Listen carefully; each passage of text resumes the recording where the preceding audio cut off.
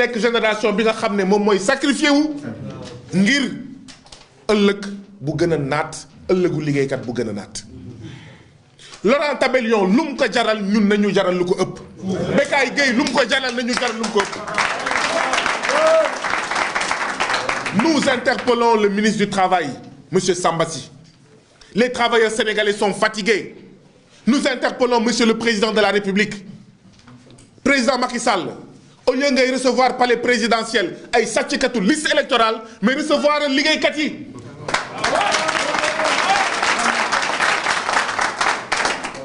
Recevoir les centrales dignes les centrales syndicales dignes. Au lieu ngay recevoir ay snappeur rek ay nga recevoir liggéeykat yi nga xam ne sonn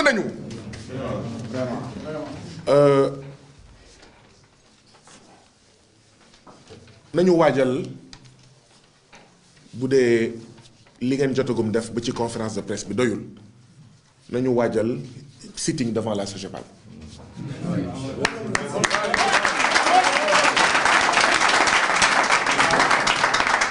nañu waajal benn sitting ci kanamu SOGEPAL ñu takk suñuy brassard rouge sol suñuy t-shirt rouge sol suñuy sër yu xonk wane suñu naxar wane suñu metit et wax ne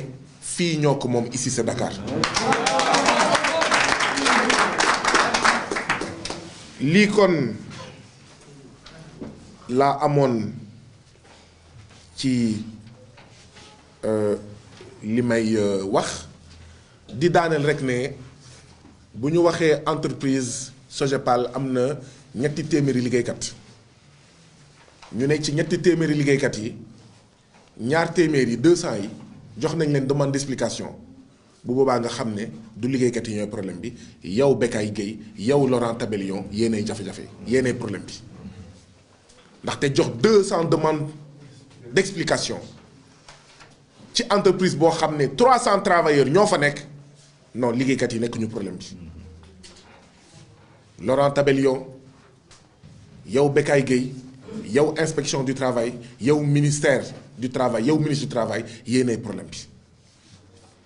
Entreprise boo xam ne liggéeykat yi nangu nañu at ñu amal leen cent quarante mille francs ñu bàyyi cent quarante mille francs yi ngir sàmm seen outil de travail. Liggéeykat yooyu ay jàmbaar lañu liggéeykat yooyu ay liggéeykatu lañu. Fitna ah ku ñu jaay ne yow tubaab nga ñu jaay la ñun sénégalais lañu. Ku ñu jaay ne yow français nga ñu jaay la ne ñun kat ay africains lañu.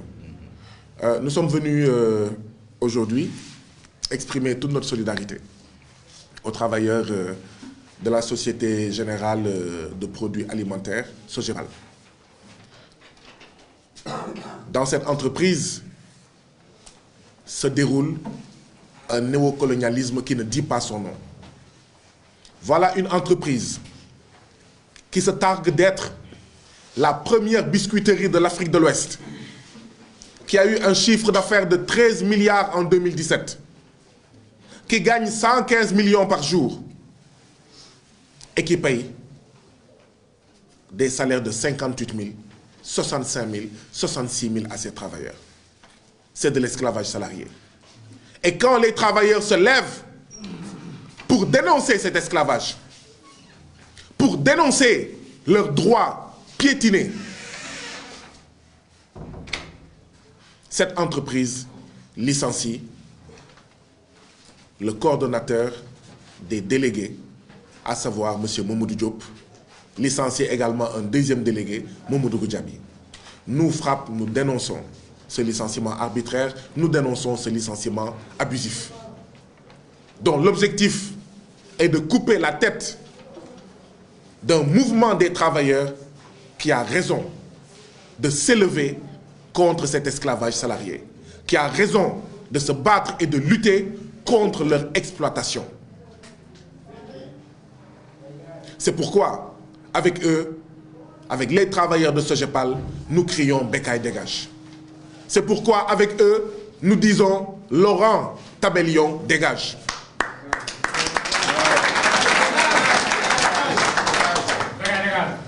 Nous exprimons notre solidarité aux travailleurs de Sogepal, dont deux de leurs membres, et pas des moindres, ont été licenciés, à savoir Moumoudou Diop et Moumoudou Goudjabi. Nous invitons les travailleurs de Sogepal à faire preuve de solidarité et à voir comment exprimer leur solidarité à Moumoudou Diop et à Moumoudou Goudjabi. Parce que ce licenciement abusif et arbitraire signifie qu'en fin janvier 2022, les délégués Moumoudou Diop et Moumoudou Goudjabi ne recevront pas de salaire, ne seront pas payés. C'est à nous, 300 travailleurs de Sogepal, de faire preuve de solidarité et de nous souvenir que Moumoudou Diop et Moumoudou Goudjabi sont tombés sur le champ de l'honneur, sont tombés sur le champ de la bravoure, sont tombés sur le champ de la défense intransigeante de nos intérêts, nous 300 travailleurs de Sogepal. Ne les oublions pas, ne les abandonnons pas, exprimons-leur notre solidarité.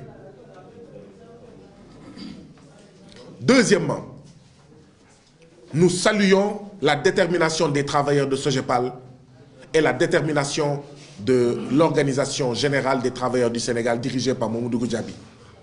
Détermination à dire non à l'arbitraire quotidien que vivent les travailleurs euh, dans l'entreprise Sogepal.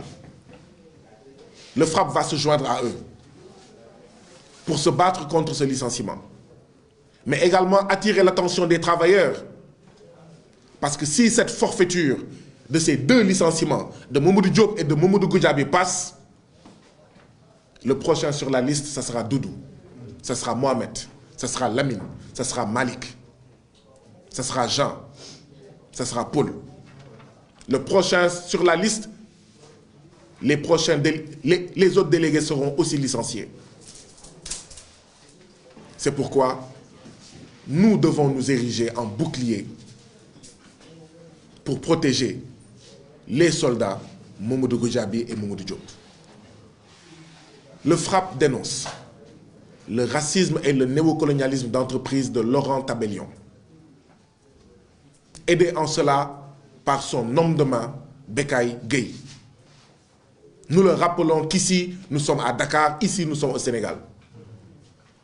Et que même si les membres du Front National, c'est-à-dire le Front de haine, le parti le plus raciste et le plus xénophobe d'Europe, ici c'est au Sénégal et la xénophobie ne passera pas. Ici, c'est le Sénégal, le racisme d'entreprise et le néocolonialisme d'entreprise ne passeront pas.